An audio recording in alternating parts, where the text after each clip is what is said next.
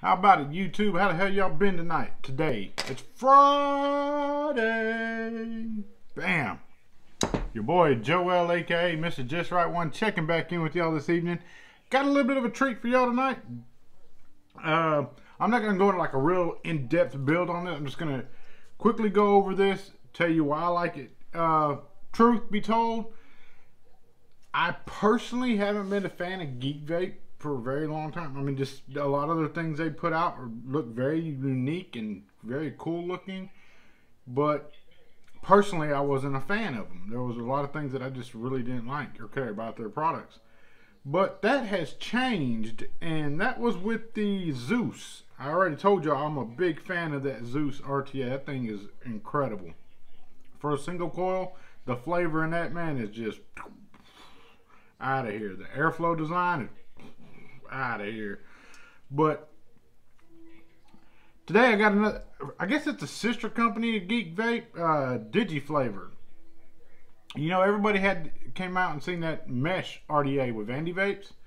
And that thing was probably the, one of the very best bottom fed atomizers I'd ever had, especially when it comes to the mesh. That thing was phenomenal uh, DigiFlavor comes out with the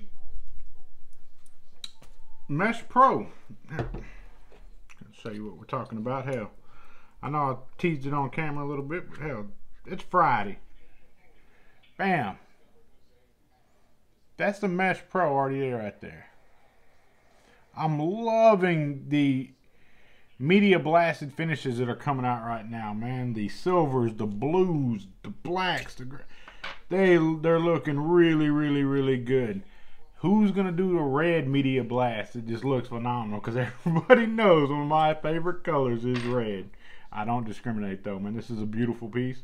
Uh, I'm gonna slap that lens I did on there last night just to show y'all real quick the deck so you can get a better idea of what it looks like. Here we go, bam, bam. Now so you can see my ugly face. Bam. You notice I do not have the bottom fed pin in this device. And there's a reason why I do not have the bottom fed pin in this device. And we're going to go over that. Alright, so y'all seen that. Bam. Good enough, huh? I don't have the bottom pin, bottom fed pin. I tried it. I did. I really did. And while I was trying it, I don't know, it just, from the original mesh RDA to this one, the original killed it when it comes to the bottom flow. That's my story, and I'm sticking to it.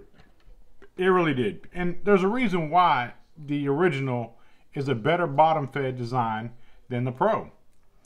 And that is because the cotton sits right on top of that bottom fed pin. You can make like a little valley inside your cotton in there so just, when you're juicing, it goes straight to the cotton. With this device here, what I found, yes, it does have a very deep juice well in it, or, or compared to that one it does. The bottom fed pin on it, if you chain vape this with the surface area of the mesh, if, you know what, time out, because some of you may not be familiar with mesh. What an ass of me to assume that everybody knows what mesh is. That is mesh right there. And you see I already clamped one side in right there. Just bam, clamped it in. Y'all just sit tight because I'll tell you what I'm going to do. I'm going to go ahead and do that. And then I'm going to explain this. Okay.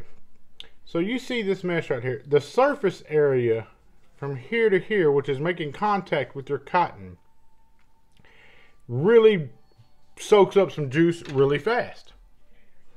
Well, what happens is, if you have this in a bottom fed configuration, you squonk, fills up your little juice chamber and then it soaks up into the cotton and you're sitting there vaping. Well, it's dissipating that juice faster than the cotton can be wicked. And I've tried it numerous ways. I mean, I've I've been using this thing religiously since I got it to try to see what I can do to make it a better vape for me. And honestly, I couldn't find anything that made it any better. But I do have a few little tips and tricks I'm going to be happy to share with you. I'm actually going through right now and measuring up what I'm going to cut and how much and why and I'll cut it and then I'll get ready to put my build in it and I'll show you why I cut it where I cut it.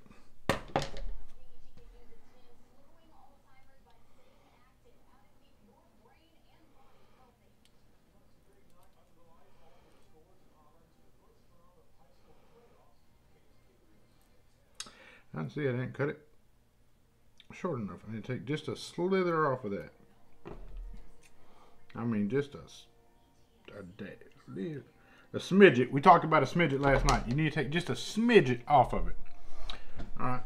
Well, guess what again? I'm putting the lens back on again. Bam. Y'all get tired of seeing my ugly face, don't you? Up, all up, close and personal. All right. So, here we go. Ugh. All them little fuzzies. But, you see, I've cut it pretty, pretty short. And the reason I've done that, let me get this on camera for you, is so that when I lay my cotton on there, and this is some, uh, damn, whose cotton is that? I think this is that Coil Master cotton. Alright, see I just laid it across there? I'm going to tuck it in a little bit, and then I'm going to roll. I'll tell you what, let me do it like this. Bam. Right now y'all can see that. Roll that in and push it down so it's flat and even. And when I do that, take my little screw screwdriver. Bam. And that is a flathead. And I I got to make a correction to last night's video. I said that the Dead Rabbit comes with Phillips head screws. It does not. It comes with flathead screws and the grub screws. So that's my fault. Made a mistake. Just Got quick. And now look. That cotton is really nice and tight in there. So what I'm going to do is I'm going to trim my cotton to kind of tuck off in these juice wells a little bit. Tell you what, I can do that right now. Man, this go. Mm. Y'all know why these scissors ain't very good? Because I was cutting jerky with them. That beats meats jerky. When it comes in, I cut it in strips and try to make it last a little bit, which it don't. I'm already out. Bam. So, now I'm just going to tuck that cotton off in there, kind of spread it out a little bit. And your fluff game on this doesn't have to be just incredibly scientific by no damn means. Just take my little screwdriver and kind of jam it in there a little bit. Pull out some excess like let me see what I got excess in there. That's a little much. Like I said, it doesn't have to be nothing super fancy or smancy and all that other good stuff. Just and don't you want to make sure not to pull it from the middle. You want to pull the ends of it off and just just fluff the ends of your cotton. If you fluff from the center, you're going to pull out the core of that cotton and then your cotton will collapse especially with the surface area and heat that's generated off this mesh. Alright, so now I know that cotton, yeah, is nice and tight in there.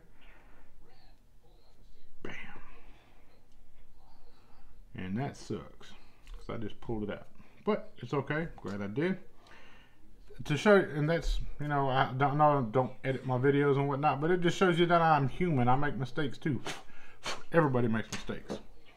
I did install the little rubber uh, clear disc on the bottom so I don't scratch up the top of my beloved Belisk. Belisk, Belisk. Still don't know how to say it. Bam. And let's see what kind of resistance we're reading. Is that picking up where the dam right there?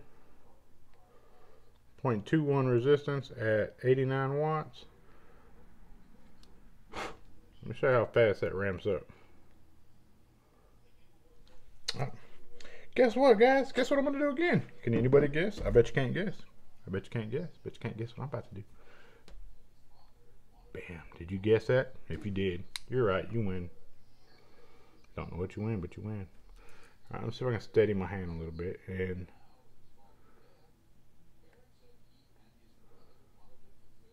see how fast that, all that whole surface area right there it's really good for cloud production and flavor when it's done right. Uh, I do have some complaints with this Mesh Pro, and we're gonna I'm gonna show you those in just one second. Just one second, just one second. Okay, so I put my cotton back in there. Make sure it's all fluffed out nice and pretty and stuff.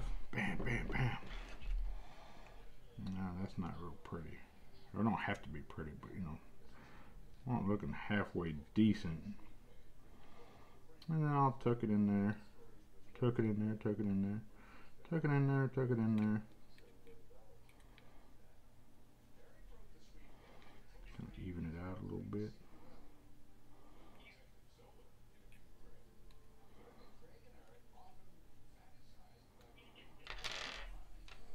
Bam.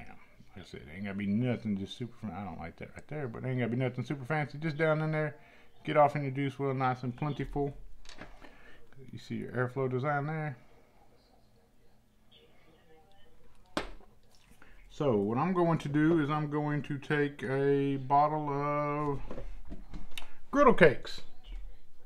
Have y'all tried griddle cakes? That's a uh, King's Crest and Jam Monster collaboration right there. Uh, King's Crest been collaborating with a lot of people, man. That uh, Nine South and King's Crest, uh, Duchess serial killer. Whew. Mercy. I kick myself for giving that other bottle, paying that other bottle for it. No, I don't kick myself for it, but oh, after I gave it away, I was like, man, that was one of my one etiquette. But that's not me. That's not who I am. And I'm just gonna juice all over this thing. And juice all over this thing. And like I said, it holds a mess ton of juice. Do a little bump, let that absorb into that cotton real quick. You know, as you're firing your coils, putting your juice on there with the cotton in it, don't just sit there and lay on it, but just give it a little pulse every now and then and let it, it helps it soak it up. Soaks that juice right on up. And I don't like my mod. that happens too. All right guess what? We're gonna go to the lens again. So I asked y'all last night what y'all thought about, and somebody said, "Heck yeah, man, makes it so much easier to see." And y'all didn't come to see me; y'all came to see this, right? So here we go. Y'all see that? Just bam, all the way across. All right, now we get into my one complaint I have with this device: the airflow. And maybe one of y'all know. Hey, I'm, I don't know everything. Maybe y'all can tell me something. Do you want the airflow going across? I'll tell you what, let me just turn it off. Make it one full spin all the way around. Does the airflow need to line up with the mesh on the side? Like so. From there to there. Or does the airflow need to line up on the outside of the wicks? To me, if it lines up on the outside of the wicks, it's going to make it leak. So I line it up to the sides of the mesh surface area there and see what it does. But what happens is, another thing, I don't know if you can see it or not. Right, I'm about to poke this in there. All right, see? So that's the top of that clamp system right there. And it, the bottom holes are right here. The top is right here. The airflow is to me, in my opinion, is too low in this Mesh Pro. Uh, what I think they could have done to remedy, remedy to that is bevel those airflow holes upwards, like inwards and upwards a little bit, or move the airflow holes up just um, work where this bottom row is, put it on top of this top row instead, and maybe angle them down a little bit. I think that would have really helped this device a lot. But I like it. I love the finishing on it. I love the drip tip on it. They give you a whole bunch of different kinds of mesh. You get three packs of it. You get SS and some uh, or NI80 and some Kanthal A1. I love it. I mean, it's it's a that throat punch flavor is it's there. Let's give it a rip and see what y'all think.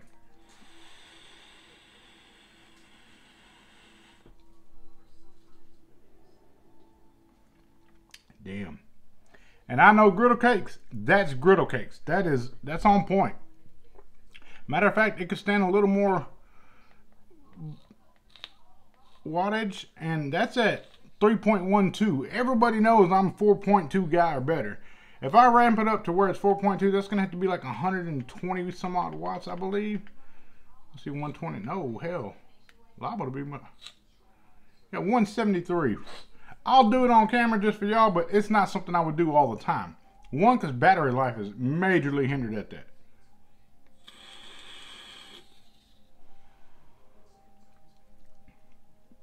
Damn, I might do that more often. that was super, super just major thick vapor, flavor.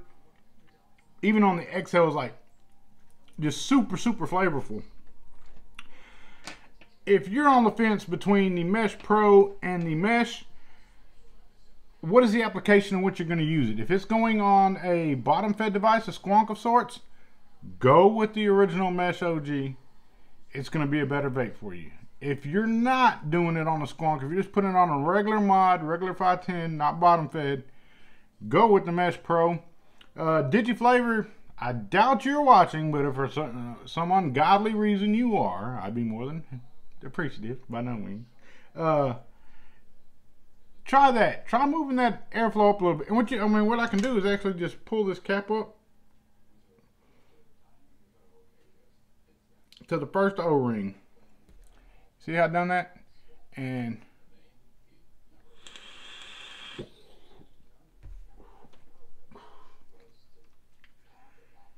way better. Just everything about that was you heard it. It just shot a cloud of vapor down my damn throat. I never deep throated vapor before. no, but it's flavorful as hell.